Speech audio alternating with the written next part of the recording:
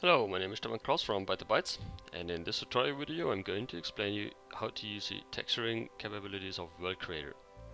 So as you can see I already have created a really nice terrain and now let's see how we can texturize it looking at making it looking real cool. So first you switch over to the texturing tab and you're going to select the texture of your of your own, what you want actually. So I'm going to use a, a grass texture at, uh, at the very first one. So just drag and drop this texture into this field here. There you go. And now each time you drag and drop a texture into this field, uh, it will be collected in, inside this list here. You can uh, duplicate a texture, you can remove a texture, you can clear a texture. Later you will see that you also can change the the order of the texture at which layer it should be uh, should be used. Um, you can also export a global color map of your entire terrain that you have created uh, once you finally have textured it, or you just also can ex uh, export all splat maps um, that you can further utilize in other applications. So now, if you want to change this texture, then you all you have to do is just to drag and drop another one into this field here, for example, so you quickly can change them. Uh, we also support the uh, addition of a normal map, so you can place a normal map into that one here also. Um, the next one is quite interesting. You have a lock size to dimension checkbox here. If I'm checking this, you can see that the whole texture is applied on the entire terrain as a single tile.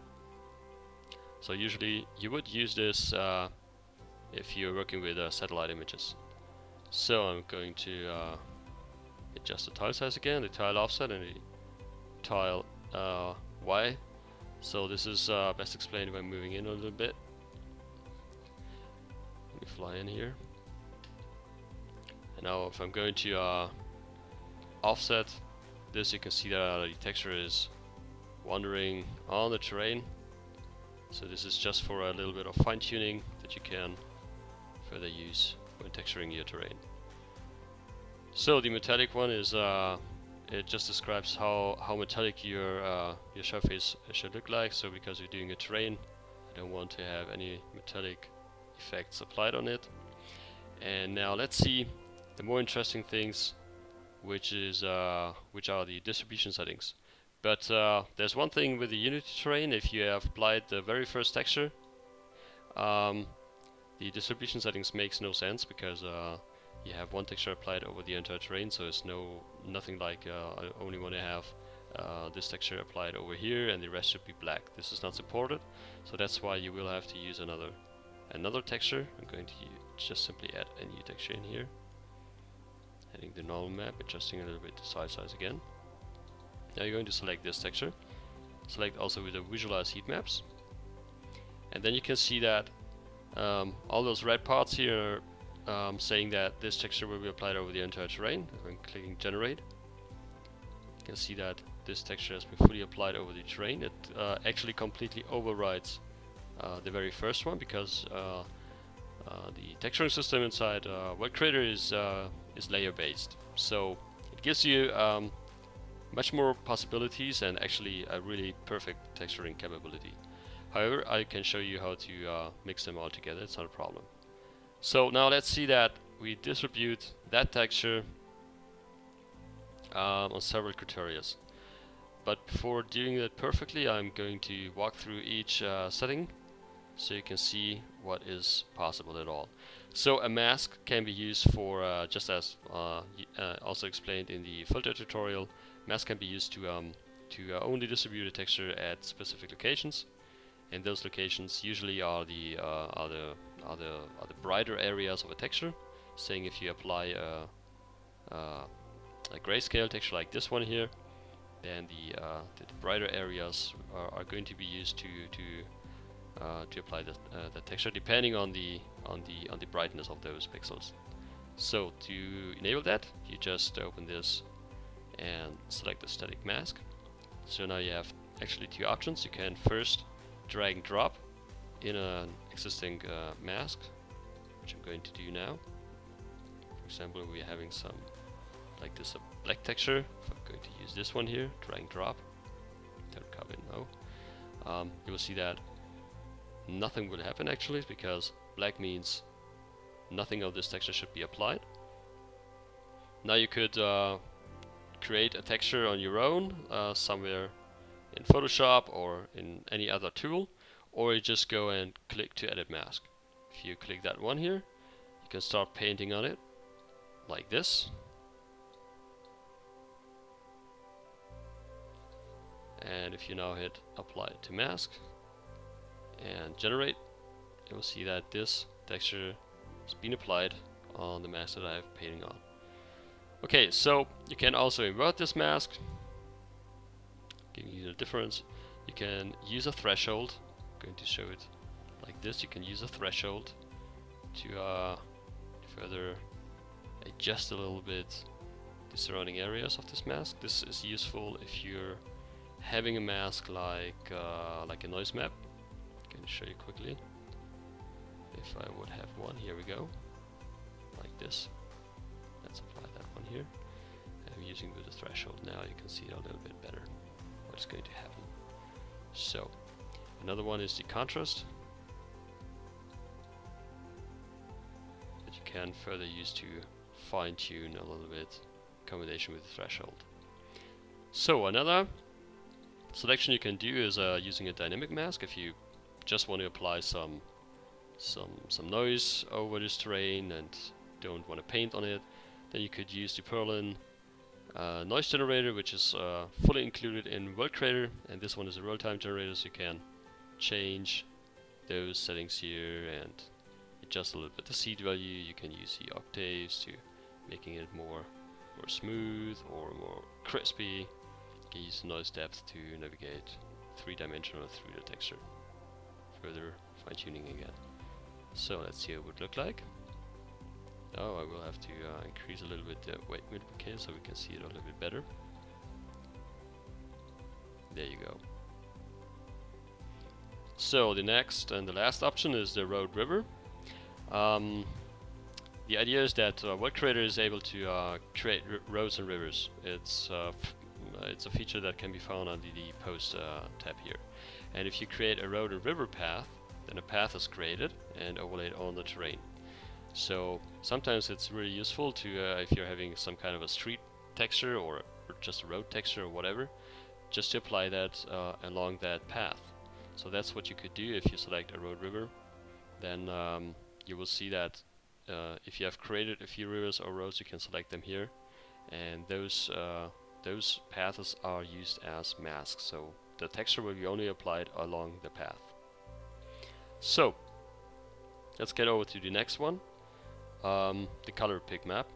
That's also interesting if you're working with uh, satellite images. So I'll quickly show you this. Um, I'm going to quickly show you this on a, on a, on a sample, like maybe this one here. So we could just drag and drop a texture in here and let's visualize the heat maps. And now let's go and select the color like something like like this. Something, some brown colors. And I use this threshold to see which parts of the texture should be taken out. You can see that if you look at this part here, this equals that one here. If you look at these parts here, this is exactly what is what is that one here. And um, so it, it is used to simply this color is used to to to to look up into that texture where where we do have this color in a specific color range, and um, if it's found and it just fits, then this color or this position of this texture is being used and transformed into this uh, terrain space and this means that uh, uh, this texture will be placed over those parts here. So this is pretty cool if you have some kind of a satellite image and you want to select green parts and texturize a specific uh, color, green color range with a specific texture. Okay, not going to use this also. So uh, we deselect it heading to the mean sea level. What a mean sea level is something that I would like to explain you in another tutorial called environmental settings inside World Creator. The idea is that you set up a mean sea level by also a water plane or whatever and uh, you just tell World Creator um, to apply this texture below or above that plane. So every time you move the plane in your scene, the texture um, is updated on automatically and all you and, and, and if you make all the texturing and all the object placement and even the filters dependent on the mean sea level then the terrain will um, update completely and automatically. So this will be shown in, in another tutorial video. So let's head over to the terrain height. It's just the same as already explained in the tutorial video with the terrain filters. I'm going to show you anyway quickly here. Um, the same goes of course for the terrain slope. Selecting the slope in degrees.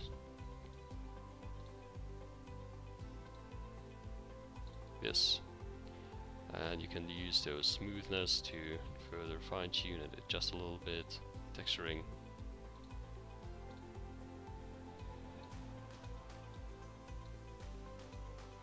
And uh, one thing, there's a follow sun. If you select this, then the sun, sun's direction is used to uh, define where it hits the terrain. And this can be used to uh, apply this texture only at a specific sun direction or even at the opposite of the sun, so like shadow parts. So, now back to the terrain height again, because there's something that I really would like to explain you. Um, imagine this could be a snow texture, so why imagine if we can make it a snow texture. Let's quickly switch over to a snow texture. And you want to say that uh, you want to have snow only at a specific uh, height level. So like maybe like something like this. Uh, now you would hit generate. And now let's see how it would look like if I'm going down it looks more like a rock texture anyway, so, but it doesn't matter. Show you the effect. If I'm going down at that level, you can see that it's really straight. It's just like a line. Now, this isn't really natural, so that's why you have the height noise type here that you would select. For example, a dynamic one. And now comes the really fun part. Let's move out a little bit, and now you could use the height noise factor to modulate that a little bit. As you can see now it it's getting really irregular and you could use the height noise scale to adjust that irregulation giving you much better results more natural look. So let me quickly uh, uh, switch over to uh, some other nice snow texture making it more beautiful. So how, how that's how it would look like with this height noise type feature. Of course you could also use a, static mask instead of a dynamic mask. So we're not going to use that and uh, let's move on to the cavity feature now. So we have that cavity here. Um, actually with the cavity you can select the height peaks and adjust those nice settings so let me quickly turn down a little bit the resolution else we will have be that smooth when using this feature. Um, you can see that I can control the peak level and smooth it out a little bit and also the strength and so on and if you use the concave value then you have the opposite so it means actually you are having the, the valley areas all the areas within. So I've selected this terrain height, reduce a little bit so we have more control over it. And that's what you can control with this. So if uh, you have a really nice eroded terrain then this feature could be used to uh, to get exactly in the between the caps. And now let's increase the weight also something like this and hit generate. Okay now we have applied snow over it. So let's get back to this one here. And let's make this terrain look really beautiful now. We could now increase the resolution again. Here we go. And increase the weight a little bit so we can see Good. Now um, let's use a rock texture and let's finalize this terrain. So here we go. Two. Now I want that that one here applied only in a specific slope range, something like this maybe. 45. And just increase the slope. Start.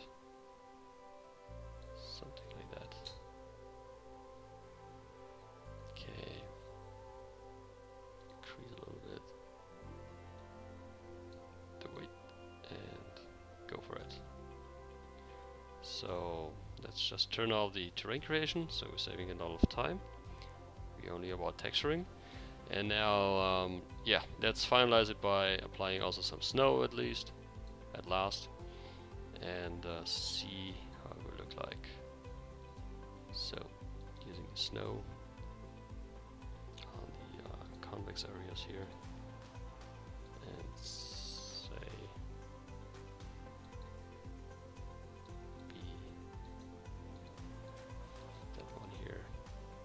something like that maybe, that looks quite cool.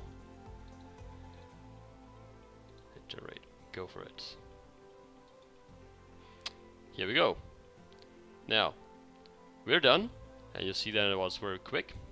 You also saw that all the possibilities that you can do and perform with this texturing techniques of World Creator.